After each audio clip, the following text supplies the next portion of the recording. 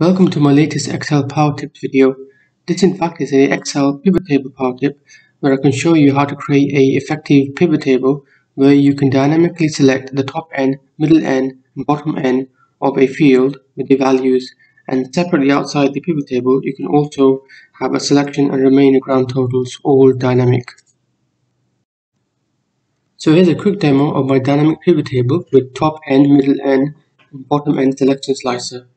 So here we've got a simple data set uh, comprising of state as the item and then sales and it's been sorted in descending order. So the the state with the high sales, uh, California is at the top and state with the lowest sales, uh, Maine, um, is at the bottom and the grand total is about 1.4 million. So this dynamic pivot table is dynamic in terms of if you select say the top 10 the top 10 of the pivot table is shown and it's reflected in the pivot chart below. And also for the selection grand total, uh, the total shown uh, with a percentage uh, which is expressed as a percentage of the total number, uh, total amount of sales for all states. Also, you also have intelligence in terms of the remainder, uh, what the total is. Uh, those are the items from states with ranking of sales value from 11 to 48 and the amount relates to those states as about $431,000 and that is 32% of the, the full total across all states. When you add the two together, you're always going to get 1.4 million, about 1.4 million and 100%. So if I chose, uh, extended that to, to the top 20, so this time you've got the top 20 shown and top 20 shown on the pivot chart. The selection grand total is about 1.1 million and that comprises 87% of all states across all states and the remainder is about $176,000 13%. You can also dynamically choose say the top uh, the bottom 10 so say from sales rank from 38 to 48 um, bear in mind when, when I said earlier that the the bottom ranked state is Maine. Um, that'll always show uh, when you're selecting the bottom N. And in this case, it's comprising only around about 20,000 in sales and 1.5%. And the remainder is 98.5%. Choose say bottom five. So the amount gets lower and lower and everything's all dynamic. The pivot chart is being updated as well. You can choose a, a middle selection, say from 25 to 30 that's six items um, going from Tennessee to Missouri. That's only 4.1%, and the remainder is 95.9%. You can also choose um, the, uh, the, items which are not uh, consecutive. So, for example, you can choose, say, item 10, item 20, item 28, uh, and item 45 in terms of sales rank number, and that's 4.8%. 65,000 in selection grand total and the remainder 95.2%. So next what I'm going to do is I'm going to show you how I did this. So here's the steps, 13 steps which you need to use in order to create the dynamic pivot table and I'm going to be referring to these steps uh, along the way. So here's the data set. Um, the data set is a simple data set comprising of state and sales. So the first thing we do is we convert this normal range into a table you can do that by pressing Ctrl T or you can go into the insert on the menu and click on table. You make sure that the my table has headers checkbox which is uh, checked in this case is checked. OK. When Excel turns this into a banded set of data then that's your indication that Excel has turned this into a table. And you will also see the design tab opened uh, under table tools. So change the name of the table to something more meaningful like say table sales data.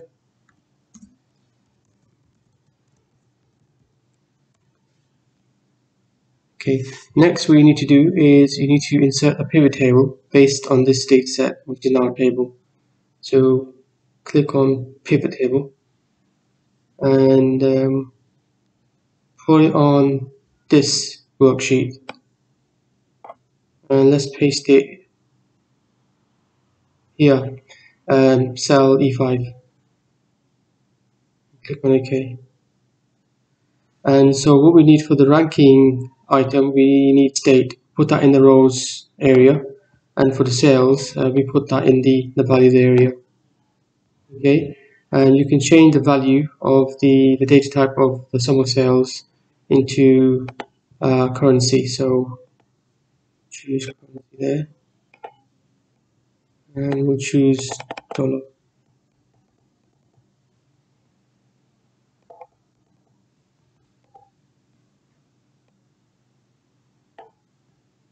OK.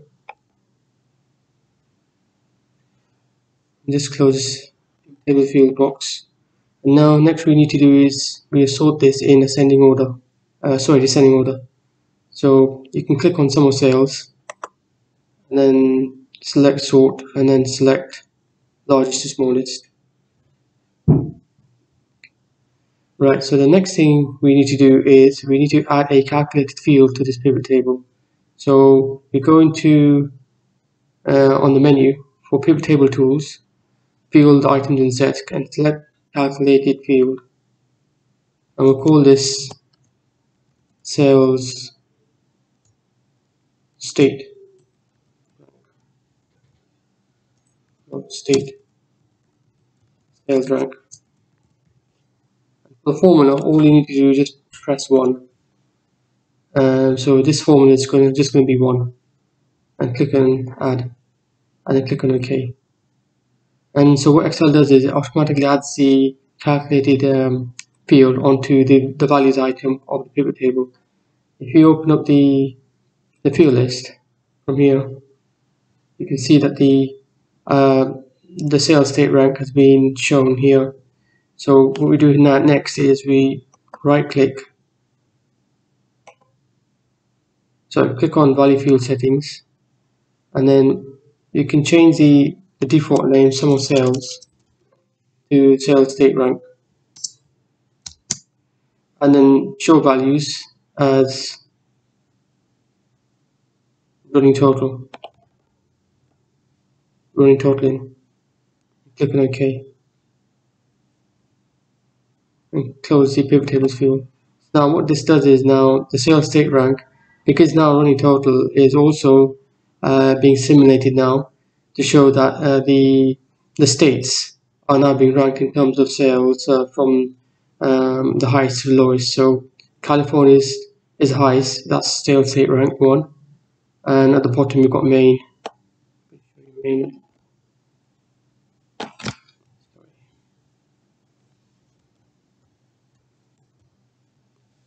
Maine at the bottom and that's uh, ranked at 48 and the total is about 1.4 million.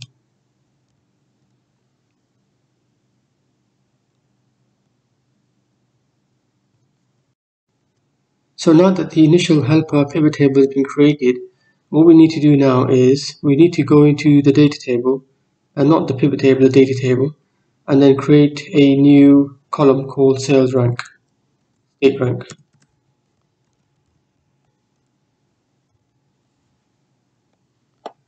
And as you can see from the pivot table we've got a, a sale, state sales rank uh, depending upon um, what the, the sales value is for the state.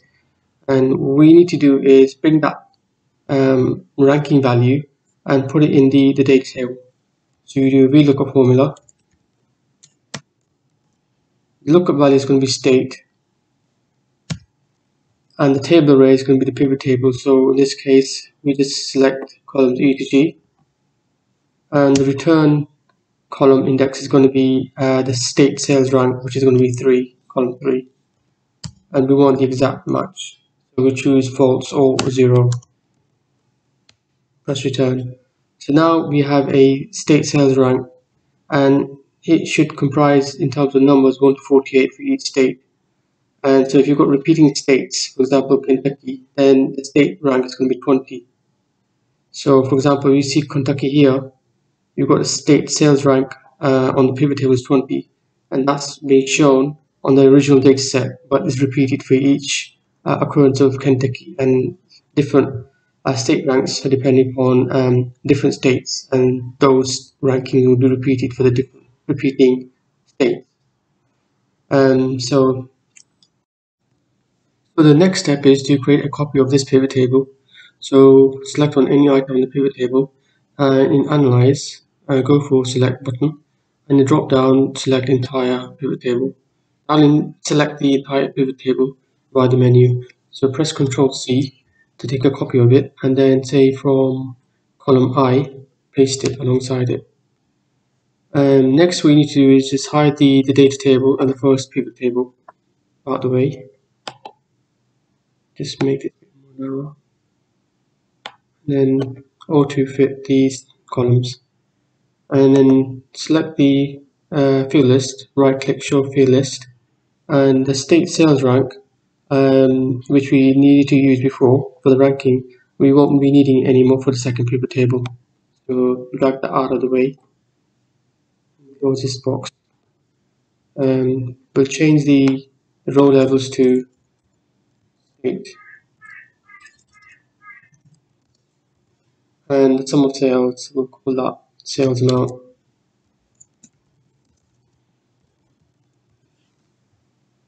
Right click the pivot table and select pivot table options but also uncheck the auto fit column widths on update. That keeps the structure in terms of column widths of the row item the same whenever we make a selection. So it looks more neater and professional. Okay so we refresh the pivot table and then what we do is we on analyze we uh, go for the insert slicer. And then remember we created the new column state rank it's now appearing um, as an available uh, column for a slicer. Uh, previously we just had state and sales now we've got state rank. Click on that and click on OK. And you should see 48 in terms of number items for the state rank which is what we were expecting for the 48 states. Right click go into size and properties and let's choose for the number of columns 12 so it's easy for the user to select um, which um, ranking he needs or she needs. And then just expand it out the way so you can see everything. So it's already beginning to look like the finished article in terms of uh, the uh, dynamic pivot table. So you see if we select the first top five, the top five is now showing, uh, California always being on the top, and Florida is being the fifth one. And then if we choose say the bottom 10, um, we've got Maine as we saw was the, the least in terms of value uh, for the ranking 48 and you've got it starts from New Mexico. And also you can choose middle uh, rankings as well. So that's all fully dynamic now in terms of the, um, the pivot table so the next step is to add the selection and remainder grand totals. I've copied it from another place within the worksheet and I'm going to paste it here. Okay so the selection grand total is the grand total of the pivot table depending upon where you what you selected in the state rank. So for example if I select top five, we want this to be shown 68,000, 687,770. To do that, um, if I click on the selection grand total, the blue highlighted cell, which is a merged cell, and then we type a VLOOKUP formula, and the lookup value will be grand total.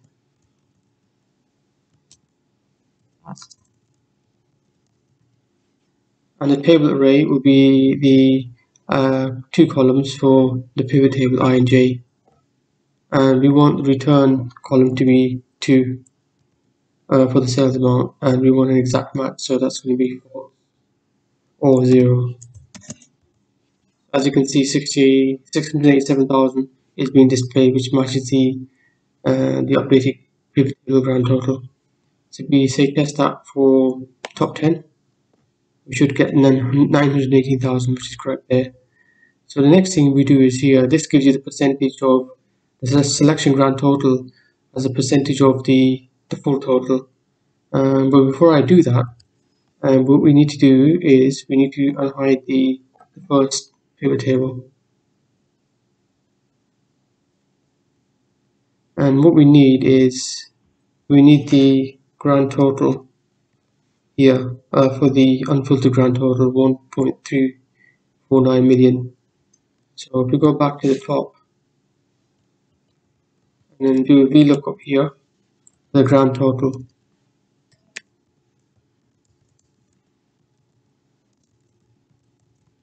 And this time we're going to be looking at the first pivot table, column E and F. And we want the return column to be sum of sales, which is 2. And we want an exact match, so 0, or you can put false. So that's 1.349 million. So this will always be the same because the slicer doesn't affect the first pivot table, it only affects the the first uh, the second one, sorry. So if I selected say top five, the unfiltered grand total will always remain the same. And so the remainder will be basically unfiltered grand total minus the selection total. And for percentages, all we need to do is express the selection grand total as a percentage of the amount 1.4 million. And we do an absolute reference for W7 F40 and then copy the formula for the percentage breakdown here. So the last percentage uh, in cell Y7 will always be 100% to represent the full total across all states so if I unselected the uh, rank, state rank, all unfiltered, then we've not selected anything. So in this case, the entire pivot table uh, has been selected for the uh, that's associated with the slicer, and so the selection grand total should be the same as the unfiltered grand total. So the 100% will be applicable to both. So once we've done that, we can hide the data table and the first pivot table. And this pivot table, the second one, we just select it. Going to analyze entire pivot table and then drag it up a bit here. Move the slicer towards the data table and then delete columns RNS and you can change the view so we can get rid of the uh, grid lines. Okay the header I've already got it here so I'll just copy and paste it.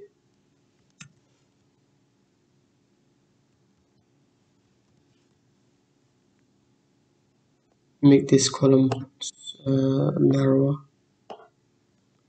last thing we need to do is uh, create a pivot chart based on this pivot table. So you have a visual representation of the selection. So if you go into go into insert and go into chart and select the clustered column chart and that will paste a uh, pivot chart based on the pivot table. And expand that and from the chart elements we'll take off the chart title and for the grid line sorry not grid line the, the legend we'll put the legend at the top and make that say font size 12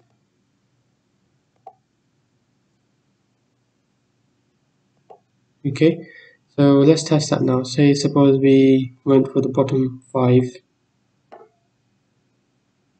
The pivot chart is updated with the bottom 5 results. And the selection grand total, remaining totals all been updated. And the pivot tables also being updated. Select the top 10. You've got top 10 results. Go for a middle 25 to 30 in terms of state rank Again, the items in the pivot chart is the same as the items in the pivot table and the grand totals all being updated with the remaining grand totals being shown too. So there you have it. Thanks for watching and stay tuned for the next video.